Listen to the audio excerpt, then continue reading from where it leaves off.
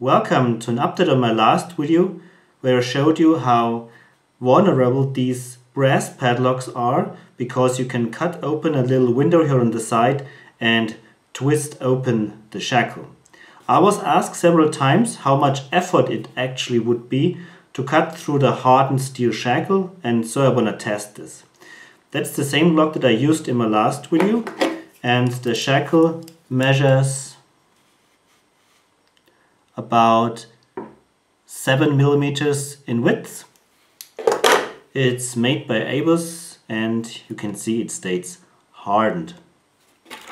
Lock still works, no problem.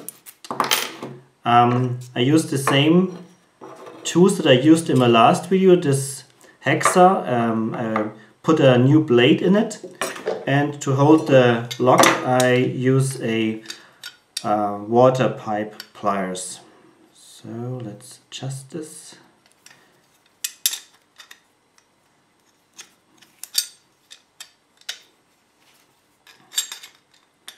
All right.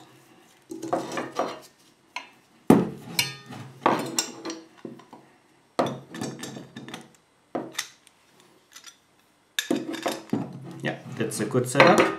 So let's zoom in. I use the other side. Okay, so let's start. And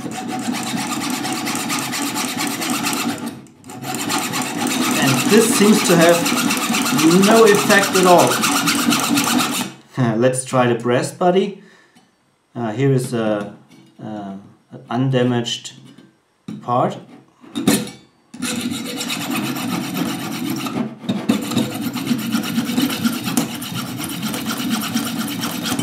Uh, you can see the deep cut.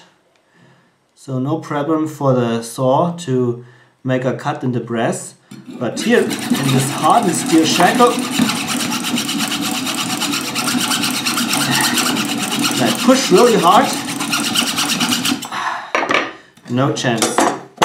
So let's inspect the damage we did. Here you can see, oops, here you can see where I tried to cut through. You can see some minor scratches, but hey, that's not a big deal for the shackle. So in this case, in the case of the ABUS uh, 4550, this shackle seems to be really good hardened and you have no chance to get through with one of these little um, um, metal saws. Yeah, the, the teeth are worn out already. So that's not sharp anymore. Here it is on this side but in the middle it's dull.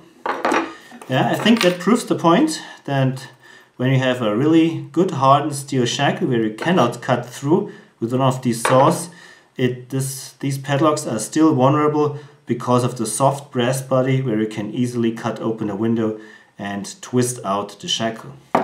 Alright, I hope this uh, gives an appropriate answer to the question. If it's possible to cut through, at least for this ABUS, no, it's not possible.